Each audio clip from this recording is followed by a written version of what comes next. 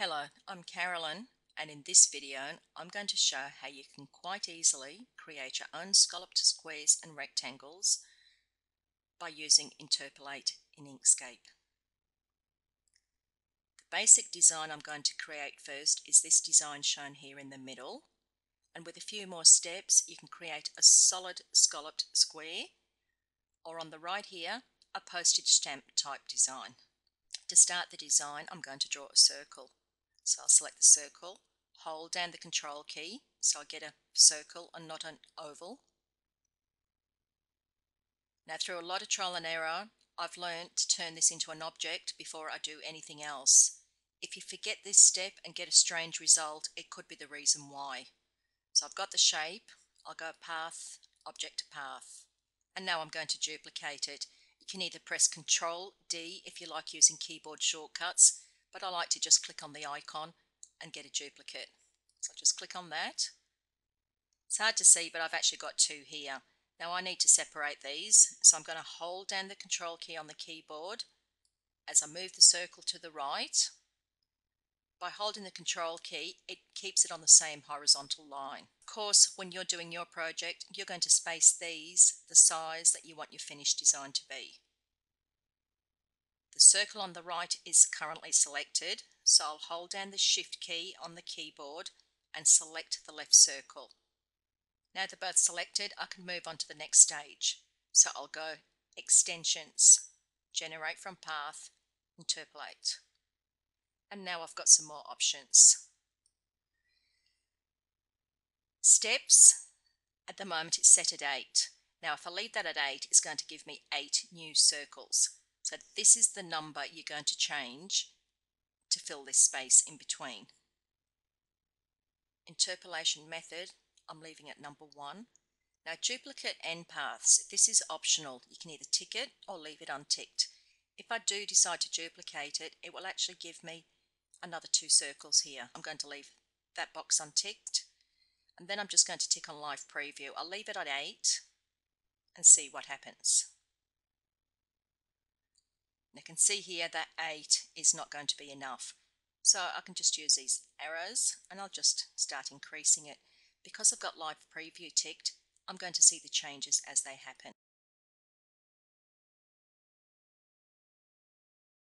And I think 12 looks about right for what I want. So I'll click on apply. And I'll just close the box.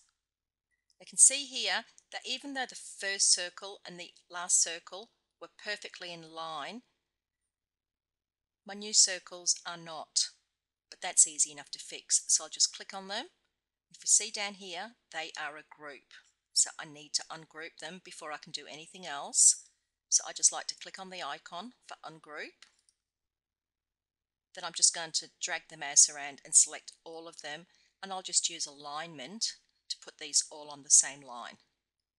So let's just open alignment and in the section align I'm just going to click on this one here. You can see the red line is at the bottom so they'll all align at the bottom of each circle. So I'll just click on that.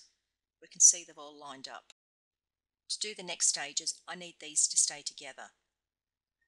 All I'm going to do at this stage is group them. And it should make sense why I'm using group a little bit later on. So I'll just group them so there's one side of my scallop square. So I'm going to duplicate this. So I just click on the icon and duplicate. Then I'm going to rotate it 90 degrees. Now up here are two little icons. This one will rotate it counterclockwise and this one will rotate it clockwise. Doesn't matter which one I click on. Zoom out a bit.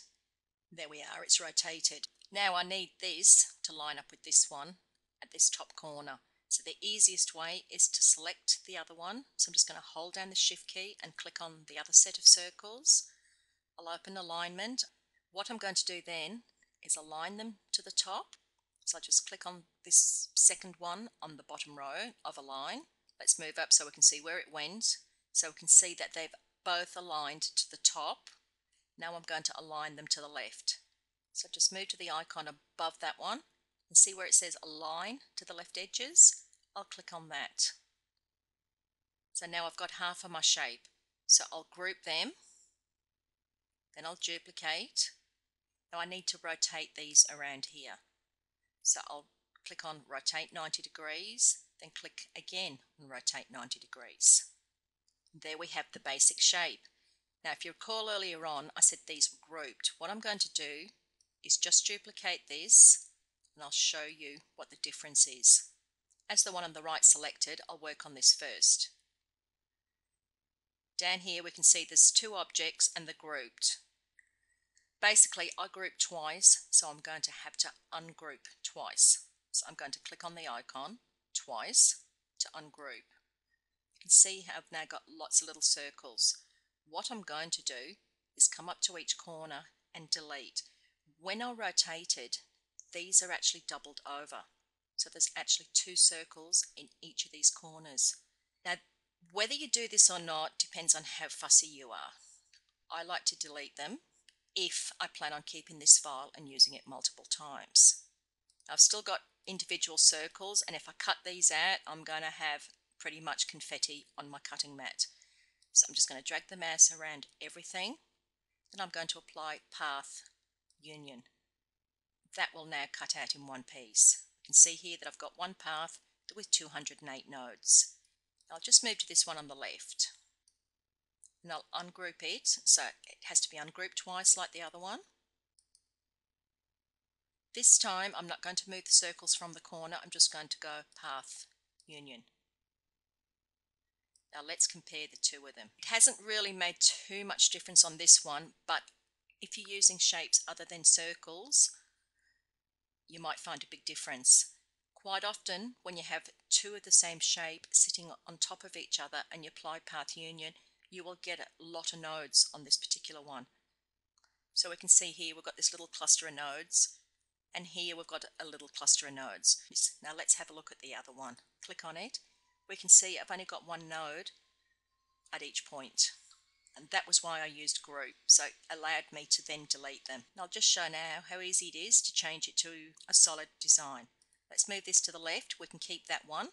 With this one I'll select it and I'll go path break apart. Then I'll just click onto a blank part of the canvas and then click back onto the shape and just drag it aside.